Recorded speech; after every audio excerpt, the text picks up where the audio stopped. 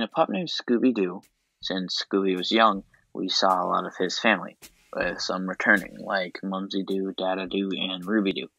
We also met some new Doos, like two of his brothers, Skippy and Howdy, and also his uncle Horton. We were introduced to one of his Doo ancestors, Missing Link Doo, and in that very same episode, in which we meet Horton and Missing Link, we're also introduced to Nasty Doo.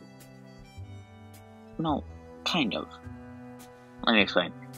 The villain of the episode was called Professor Digmi.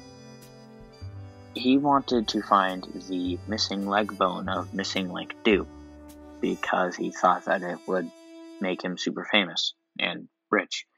So he made a costume based on the real Nasty Doo to frame him and he made up this story about a curse, and that is why Nasty is doing these things. Now,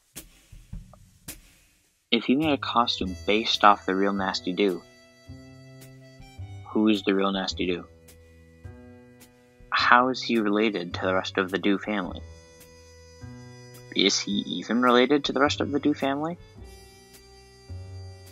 How close is the disguise to the real look of the real Nasty Doo?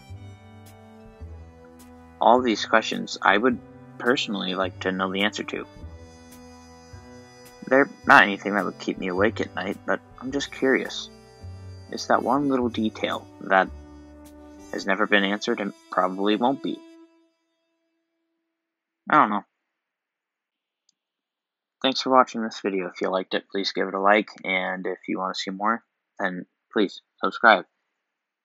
Thanks for watching. See ya.